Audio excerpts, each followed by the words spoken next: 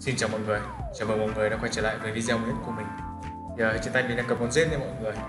Thì uh, sau khi nhiều bạn chỉ mình ấy thì mình hôm nay mình biết một vị trí mà việc xuất hiện con rết này khá là nhiều luôn đấy thì uh, trước khi đầu chính video ngày hôm nay mọi người đừng quên cho mình một đăng ký kênh và like video nha. Thì uh, vị trí ngày hôm nay muốn giới thiệu mọi người đó là ngôi nhà ma của mọi người chơi zombie ấy. Thì ở đây sẽ xuất hiện khá là nhiều luôn con rết ấy. Và cái tỷ lệ ra đây khá là cao luôn tại vì mình thấy nhiều bạn comment trên group rồi mà ở chỗ này khá nhiều rết thì ngày hôm nay mình làm video ra đây thử xem như nào. Thì uh, sau đây mình sẽ hành đi thử xem có rết đây không nha mọi người. Thì uh, như mọi người biết ấy, thì ờ, uh, rết xuất hiện buổi tối đúng không?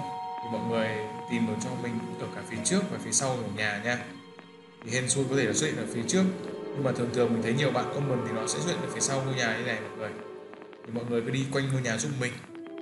Khi nào mà xuất hiện thì mọi người thấy sẽ bắt thôi đúng không nào? Đây nào nhau đi quanh nhà xem các bạn có không nha. Đây mọi người sau một hồi mình đi quanh quanh ngôi nhà đây thì ở phía sau xuất một con rết này mọi người. Đây mọi người mình thấy không? Có thấy không? Đây nào đang bò đây mọi người. Đấy thì mình bắt thử mọi người nha. Đây mọi người một con uh, có kích thước là 101 cm giá là 210 tiền sao nha. Là con đầu tiên của tối ngày hôm nay luôn đấy. Đây mới đang một buổi tối đó mọi người một trong một buổi tối nữa nha. Rồi tiếp theo đây mọi người sau khi một hồi mình đi tiếp thì lại ra một con nữa mọi người. Đây mình đang vừa bắt đây mọi người. Nếu mà mọi người muốn bắt côn trùng thành công cao nhất ấy, thì mọi người cứ đi chậm rồi theo hướng của nó bắt thôi nha. Đây mọi người con này thì có chiều dài là 102 cm à, quên mili nha mọi người quên mất mili nha. Đấy con này con thứ hai cho mọi người mấy một trong một buổi tối thôi ấy mà đã bắt được hai con rết rồi. Nếu bạn nào muốn cày con vương niệm thì ra đây bắt được. Đây con thứ ba nha mọi người. Đây là con thứ ba của tối ngày hôm nay nha thì mọi người cứ đi quanh quanh ngôi nhà. Còn mình thấy nãy giờ chủ yếu là xuất hiện tại phía sau thôi mọi người. Nếu mà không mọi người ra phía sau thì đứng giúp mình được. Chờ rồi có bắt thì nó sẽ lại spawn ra tiếp đi. Đây là con thứ ba nha mọi người. Ok. Đây mọi người. Thì lại tiếp tục một con nữa. Sau khi mình đi một quanh một vòng, quay lại lại ra một con nữa nha. Vẫn ở phía sau luôn. Đây mọi người thấy không? Nó đang bò đấy. Thì để mình ờ, đi lại gần mình bắt nha là một buổi tối là mình bắt được bốn con mọi người.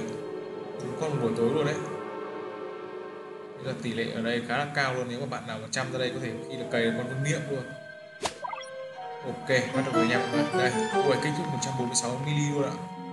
Giá là 246 tiền sao nha. Ngoài một buổi tối mà bắt đến bốn con. Thật sự là quá nhiều luôn đấy. Chỗ này là, mình nghi chỗ này là chỗ mà thường xuất hiện con rết luôn đấy. Mọi người ra đây mà thử xem nha.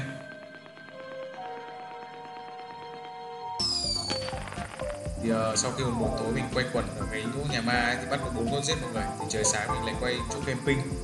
Để mình uh, tiếp tục cày uh, các con côn trùng ở trong này nhá. Vì trong này xuất hiện côn trùng khá là nhiều luôn. Đây là một con ve một người ve sầu nhá. Mà không biết là ve sầu gì thôi. Rồi mình bắt thử xem biết đâu là con mới. Ok một con ve sầu dầu nha mọi người đây là con mới luôn đấy. Mình chưa có con này luôn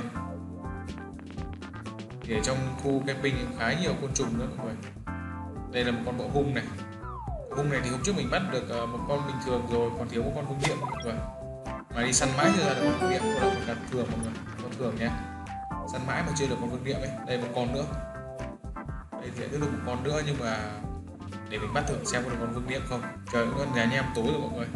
Nếu mà trời tối thì mọi người lại quay lại ra chỗ cái nhà ma để cày uh, ờ, rết mọi người. Bắt rết đấy nhá.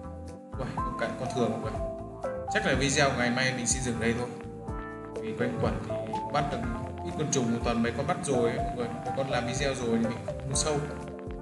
Thì chắc là video của ngày hôm nay mình xin tạm dừng ở đây nha. Thì, uh, trước khi kết thúc video của ngày hôm nay thì mọi người đừng quên kéo xuống cho mình một đăng ký kênh cũng như là like video. Và những comment nếu bạn bắt được con côn giết con giết ở ngoài chỗ cái nhà ma đấy nhé cảm ơn mọi người rất nhiều. Chúc mọi người một tối thật là vui vẻ nha.